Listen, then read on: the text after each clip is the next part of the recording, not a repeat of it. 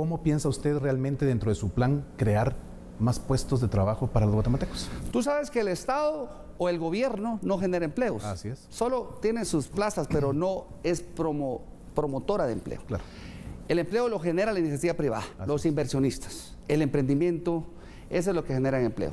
¿Qué pasa? Para que vengan inversionistas, hay que darle las condiciones adecuadas para hacerlo. Hay que automatizarles los trámites del Estado, hay que darle la infraestructura correcta y hay que empezar a activar todo el funcionamiento del Estado para que los inversionistas vengan y creen más empresas. Al crear más empresas hay más bienes y servicios, hay más oferta de bienes y servicios y los precios bajan y se activa la economía, además de que se generan muchísimas plazas y más empleos y puede optar a tener mejores salarios. Porque el, el salario verdadero se da a través de más oferta de empleo.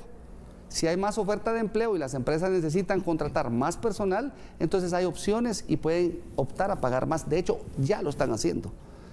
Ya ahora, ya los salarios para las personas que se dedican a trabajar, por ejemplo, en, la construcción, ya no consigues un albañil por 100 quetzales. Hoy son, cobran 200 quetzales. ¿Por qué? Porque hay muchísima demanda en construcción. Es un ejemplo clarísimo. ¿Por qué hay demanda en construcción? Ustedes saben por qué subió tanta la, construcción en Guatemala por las remesas familiares. Todos nuestros migrantes empiezan a construir aquí o a comprar dónde vivir porque ellos sueñan con regresar a vivir a Guatemala y se fueron sin casa. Y ahora tienen la oportunidad de comprarla.